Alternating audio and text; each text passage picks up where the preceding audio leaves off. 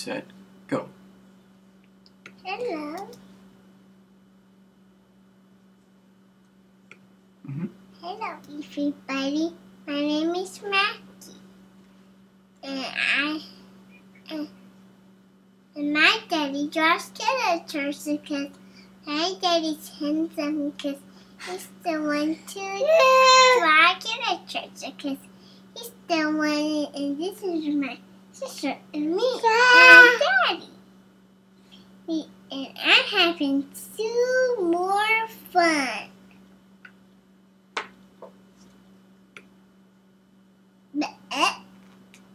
Is that all? nope, and talk too. Oh, talk two? Um, well, this caricature is of Whoopi Goldberg, and I'm going to try something a little bit different. Um, you can, as you can see, I'm starting with my normal thumbs, thumbnail sketches.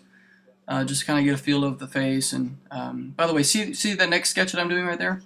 All those crazy little lines. Um, I, I recently started doing that, but I, I kind of picked that up from um, Gilbert DeRoy. I think that's how you pronounce his name but those weird crazy lines sometimes they work out uh, you might want to give it a try what you do is you hold the pencil uh, as far as you can from the lead and you just kind of start doing these weird real light by the way real light lines real crazy uh, not abstract but just depending on your style I'm, I'm talking about just the real loose lines um, and then somehow um, spontaneously these features uh, I guess will appear some somehow. But you have to, of course, draw those crazy lines in light of what you see. Uh, so if you you know draw your regular style, but do it in a way where you're really really loose. Your your lines are real um, loose. They're not so tight. Um, and and then somehow when you're doing those loosey lines, as you can see, I'm doing it again right there.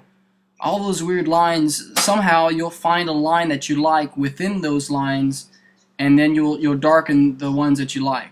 You might want to just give it a try. It's probably easier just to do it than to explain it, but give it a try. Um, if you're familiar with um, Gilbert DeRoy's stuff, uh, when he starts off, well, I guess when he posts up posts his WIPs and stuff, uh, they look real messy, don't they? They look real messy and real, you know, um, loose.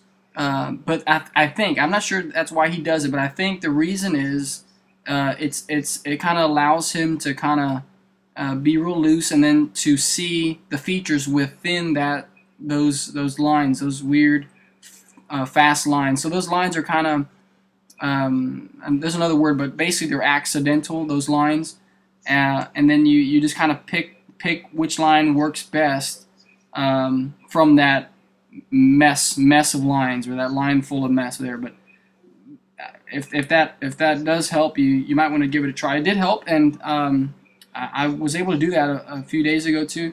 I just kind of tried it out, and it worked out really well.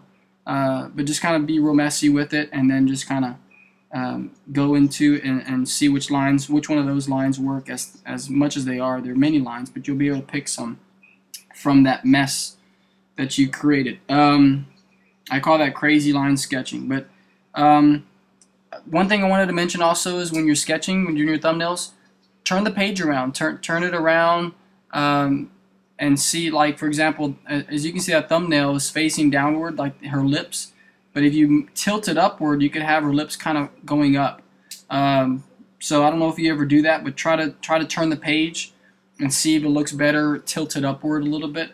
Uh, and that works really well with profile caricatures. Just kind of tilting the page and if it looks better with the lips tilted upward, uh, just trace it over again and just change the position of the neck um, and the hair, of course, because the gravity pulls it downward. You'll need to change the hair.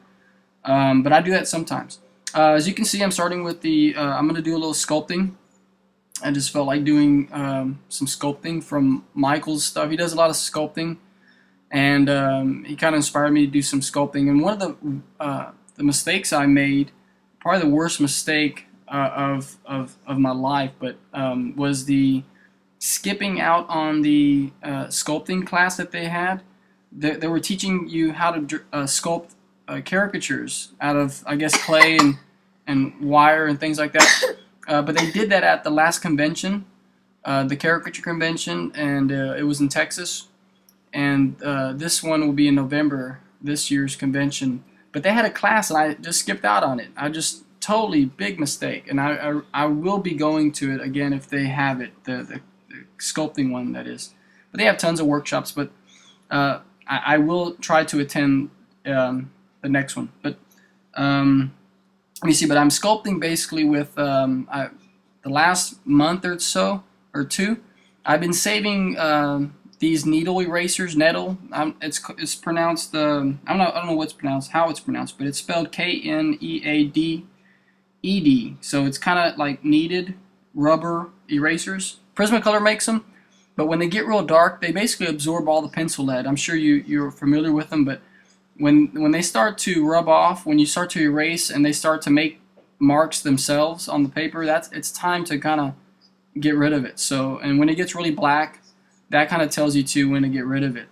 Uh, when it gets real dark, because it absorbs all the, the lead and stuff. But um, this is two two packages of kneaded erasers that I, I wasn't going to be using anymore. I was going to toss them. And if I knew I would be using it to sculpt, I would have saved the 10 years worth of needle kneaded erasers. Um, but they're they're very uh, useful to uh, move and sculpt with. From my experience, this last few hours, I think it took this whole thing took about two hours worth. So I guess hour of sketching, an hour of sculpting. It just feels like it was much longer, and I think it was. I think it was, but because there were some parts that didn't get recorded. Um, but it was a lot of fun. But these these used ones, they have uh, a lot of lead in them already, and they have uh, a lot of oil from your hands. So I don't know if that made a difference, but it was very it was um, it was easy to easy to sculpt, easy to move around. Um, and uh, when I when I painted over it, I thought it would do something because I used acrylic. I thought it would like splot or, or I thought it wouldn't paint right. There'd be some spots, but it, it seemed to do fine, uh, as you'll see towards the end. Um, but I kind of just started off with uh, like doing everything in pieces. So uh, what I would recommend if you want to sculpt, start from the bottom and work your way up. One thing I, I came in um, across, one of the problems I came across was I started from the forehead and I went down. So I kind of got all the pieces together and then I tried to bring them all together, and they all came apart. Like it just didn't work out well. And so I, what you want to do is start off with the base. You find find a good base, and what I'm using, I use I used one of those ink bottles, those containers that hold ink. It's from I think it's called Higgins, but it's just those black Indian ink bottles, and I use that as a base, and I just stuck the neck. I stuck the neck onto that top and then um, I worked my way upward. I had the jaw, and then I had the, the, the, lips and things like that. So I worked from bottom to top. Um, but a good base is important too. Um, at the very end, I tried to take a better picture than what I had, and the whole thing fell over. The glasses fell down, and everything was the paint was still wet, and it just it was destroyed. So I just um, the moral of the story is to make sure the base is real set, it's it's situated, it's heavy, and there's no way that it could fall over. Um, but anyways, as you can see, what I'm using, my tools I used was one of those pocket knives. It was a it was a Christmas gift my wife gave me. It's a Bear Grylls one, but it has like tweezers. It has like a few different knives and little bit little cool little tools that I use to kind of sculpt around to get all those details and stuff.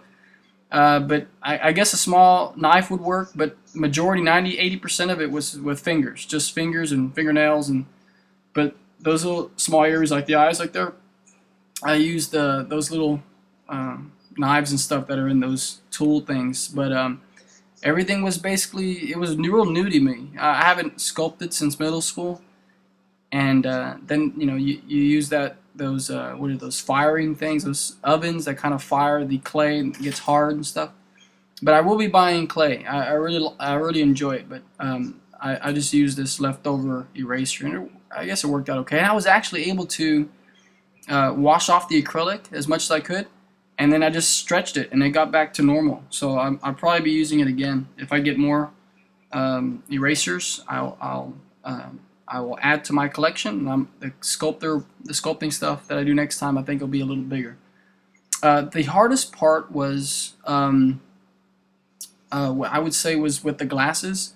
You'll see in a little bit. I'm gonna make Whoopi's glasses because because you had to make those round perfect circles and the frames were made out of the kneaded eraser and uh, and then I added like these I added, added uh, scotch tape so that it looked like glass uh, I, I, you had to cut them out and I used the tweezers for that too uh, to hold the tape and it was just frustrating getting back and forth because it was sticky on one side and it would fall and it, then it got got some oil on it and it wasn't clear anymore uh, anyway so um, some of the tools that I use, I use the, um, as I already said, the kneaded rubber eraser. Prismacolor makes that. You can find that from what I hear at Hobby Lobby too, those erasers. Um, a pocket knife uh, with all those tools. I used some acrylic painting, uh, acrylic paint, just regular acrylic paint. I use scotch tape for the uh, for the eyes, the glasses. The um, I use scissors to cut those, of course. The scotch tape. Um, let me see. Uh, the base was the ink container, and then I added some water at the very, very end. I added some water over the whole thing. I just kind of touched a little layer of water uh, over it, so that way, that way it looked a little glossy when I went ahead and took the picture.